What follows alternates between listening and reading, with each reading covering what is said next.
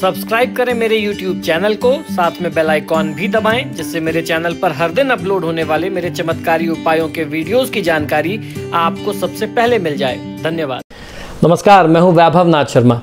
दोस्तों 12 अप्रैल 2022 को राहु केतु का गोचर होने जा रहा है। राहु केतु का राशि परिवर्तन होने जा रहा है। तो बहुत सारे दर्शकों ने हमसे प्रश्न किया कि इसके बारे में 12 राशियों पर क्या प्रभाव रहेगा, उसको आप विस्तार से बताइए। और जिनके लिए ये अशुभ है, सामान्य रूप से उन्हें क्या उपाय करना चाहिए? तो मैं आपको 12 राशियों के लिए राहु केतु के राशि परिवर्तन का क्या प्रभाव रहेगा, क्या फलादेश रहेगा, वो तो बताऊँगा ही। 18 महीने तक किस तरीके से आपको इनका परिणाम मिलेगा। साथ ही साथ कुछ ऐसे उपाय भी बताऊँगा जो किसी भी राशि का जातक उसको करके लाभ ले सकता है। तो मेष से लेकर के मीन तक की समेत बा, सभी बारह राशियों पर राहु केतु के इस राशि परिवर्तन का मिला जुला प्रभाव रहेगा। खासतौर पर पाँच ऐसी राशियाँ होंगी जिनके लिए बहुत ही मुश्किल कठिन समय आ, कहा जा सकता है। जीवन में ग्रह नक्षत्र भी बहुत महत्वपूर्ण भूमिका निभाते हैं।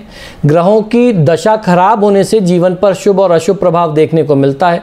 इसके चलते कई प्रकार के उतार चढ़ाव भी जीवन में आते हैं। ज्योतिष शास्त्र में राहु केतु को छाया ग्रह माना गया। आपको बता दें कि किसी भी व्यक्ति की कुंडली में राहु और केतु के कारण ही काल सर्प योग इत्यादि का निर्माण भी होता है। मान्यता यह भी है कि राहु केतु की स्थिति व्यक्ति के पक्ष में न होने से उसका जीवन जो है, बहुत सारी परेशानियों से घिर जाता है। हर कार्य में विघ्न, रुकावटें और बाधाएँ आने लग जाती हैं। इन सब चीज़ों के कारण तनाव इतना बढ़ जाता है कि स्थितियों को संभाल पाना बहुत मुश्किल हो जाता है। इसी कारण से लोग राहु केतु का नाम सुनते ही जो है घबरा जाते हैं। राहु 12 अप्रैल 2022 को मेष राशि में प्रवेश करेगा और केतु तुला राशि में प्रवेश करेगा। ये दोनों ही ग्रह वक्री चाल चलते हैं। वक्री अर्थात उल्टी इनकी जो चाल होती है वो उल्टी चाल में भ्रमण करते हैं। वैदिक ज्योतिष शास्त्र के अनुसार राहु और केतु एक दूसरे से, एक दूसरे के सम सप्तक हैं। दोनों ग्रह एक साथ राशि परिवर्तन करते हैं। मेष मेष राशि के स्वामी ग्रह मंगल हैं। केतु भी इसी दिन शुक्र राशि में शुक्र की राशि तुला में गोचर करेंगे। मेष राशि में राहु और केतु 18 महीने तक रहने जा रहे हैं। राहु केतु के राशि परिवर्तन के दौरान पाँच राशियों के जातक लोगों को विशेष सावधानी रखने की सलाह देता हूँ। अब बात मीन राशि की, कि मीन राशि वाले जातक लोगों के लिए राहु, केतु का ये ट्रांजिट क्या फल लेकर के आ रहा है? राहु आपके दूसरे भाव में गोचर करेगा। इस दौरान आपको अचानक से कुछ खर्चों का सामना करना पड़ सकता है। आपकी वाणी में पहले से कहीं ज़्यादा कटुता आ सकती है।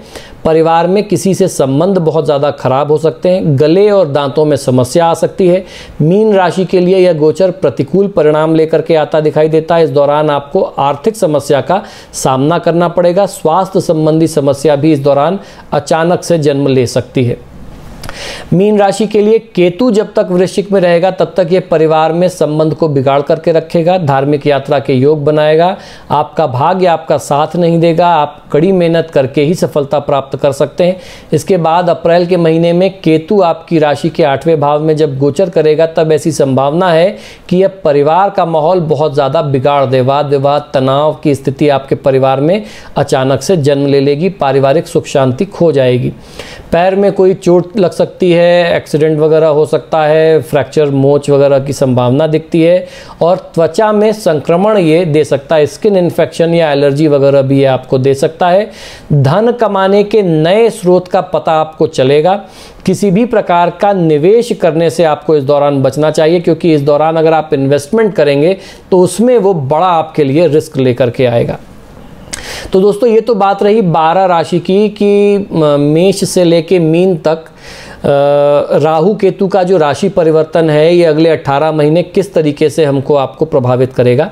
अब हम लोग जानते हैं कि सामान्य रूप से राहु केतु का कैसा उपाय करना चाहिए, जिसके लिए इनका राशि परिवर्तन बहुत खराब है, उनके लिए तो ये उपाय ज़रूरी है, बहुत ही ज़रूरी है, और जिनके लिए थोड़ा सा भी अच्छा है, अगर वो ये उपाय करें तो उसका और अच्छा प्रभाव उन लोगों को मिल सकता है।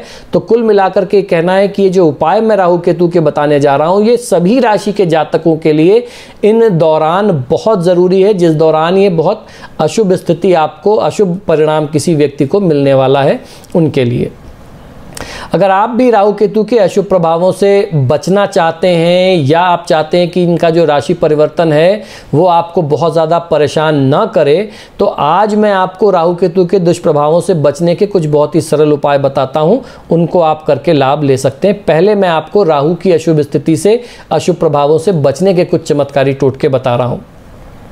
राहु की अशुभ स्थिति से बचने के लिए नियमित रूप से भगवान शिव की पूजा आराधना करनी चाहिए, शिवलिंग पर जलाभिषेक करना चाहिए।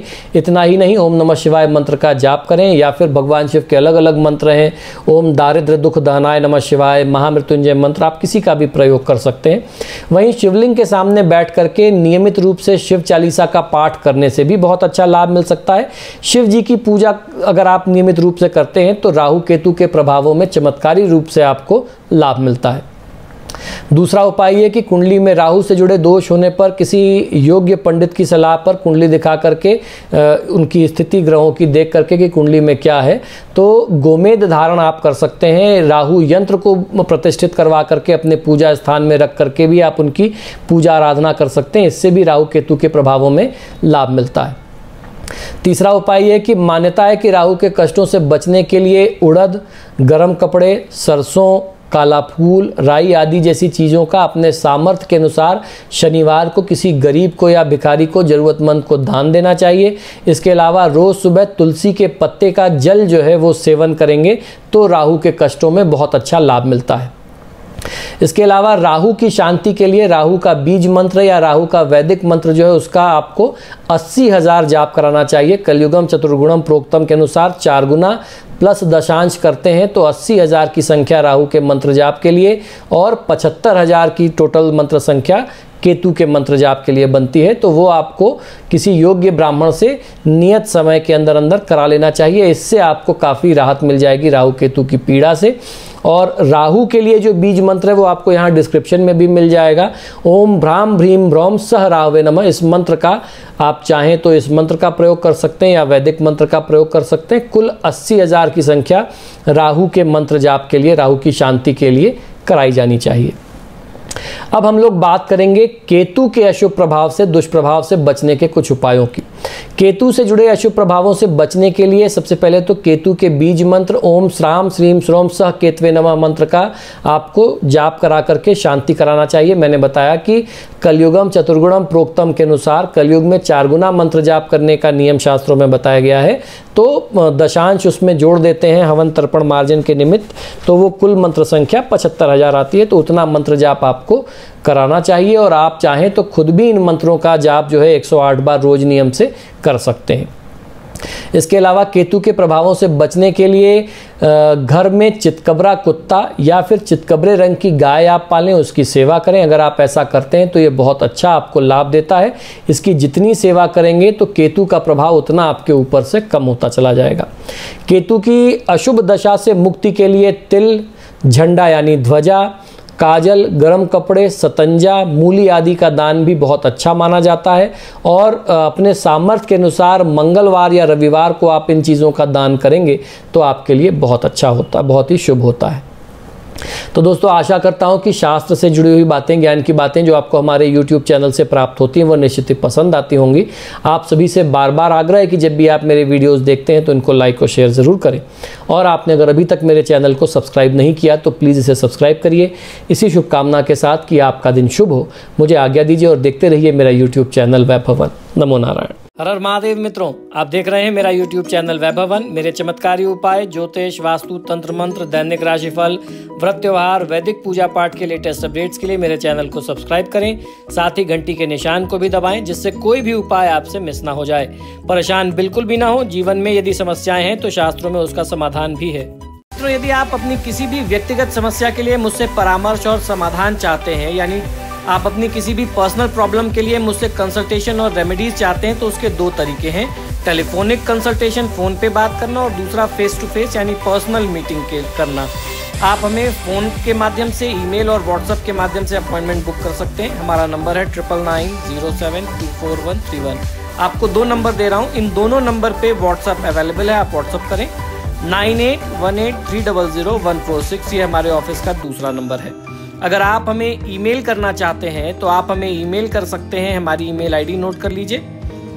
S H A R M A dot Vaibhava V A I B H A V at the rate Gmail dot com पर। इस पर आप हमें ईमेल भी कर सकते हैं। मित्रों, आजकल फ़ोन कॉल्स बहुत ज़्यादा हैं और मुझे भी मालूम है आप लोग कॉल करते हैं फ़ोन रिसीव नहीं होता तो आप भी निराश होते हैं। ऐसे में ईमेल और व्हाट्सअप करना सबसे बेहतर तरीका है। धन्यवाद।